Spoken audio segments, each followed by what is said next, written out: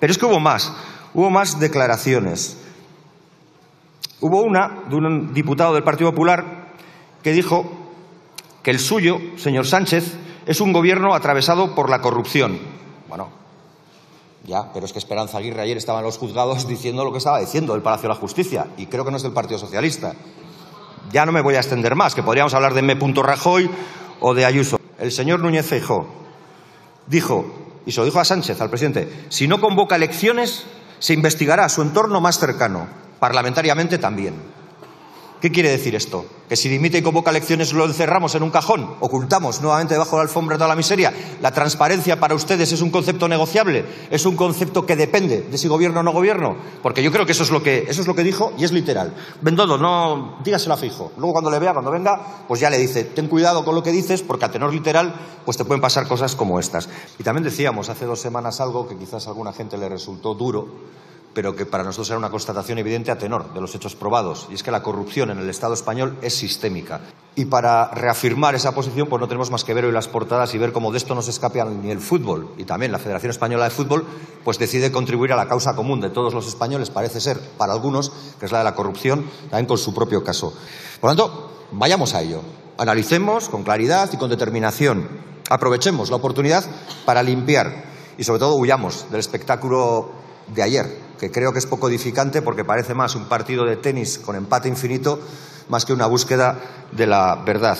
Yo no voy a ocupar todo mi tiempo, pero sí les voy a confesar una cosa, que lo más importante de lo que vamos a hacer en esa comisión tiene que ver con que pasemos de las palabras a los hechos, con que seamos capaces de salir del reproche para buscar salidas y medidas que impidan que esto vuelva a pasar, porque si no, seguiremos eh, perdiéndonos en la palabrería, seguiremos asistiendo a cosas como la que pudimos ver ayer.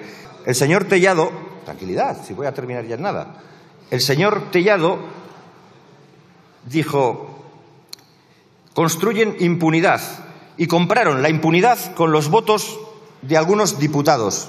Hombre, el señor Tellado lleva un tiempo en el Partido Popular. Yo creo que del Tamayo ya se acordará y del Tamayazo, porque eso creo que también fueron desde su propio partido, hechos y no palabras. Pero hubo más, cosas literales.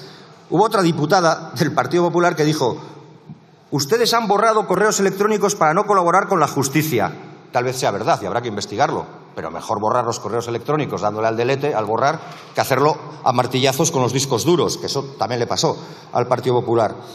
Y dijeron más todavía, iremos, iremos a la Fiscalía, donde usted, señor Bolaños, no podrá mandar ningún mensaje para presionar. Que está bien, pero hombre, el de esto la Fiscalía te lo afina, era del Partido Popular. otra vez, hechos y palabras. Y termino ya. Hubo otra más, la última que, anoté. Fue la de otro diputado del Partido Popular que dijo, usted, se decía al Partido Socialista, a uno de los ministros, ha pagado, mil, pagado 18.000 euros por 14 pagas para callarle la boca. Y te lo dice un representante que este además lo era y mucho en el Partido Popular en los tiempos en los que al gerente le pagaron con un despido en forma de salario en diferido. Pues hombre, nuevamente hechos y no palabras, porque lo demás, si no, no es más que palabrería para alimentar egos y para que esto se lo lleve el viento. Besterik es mi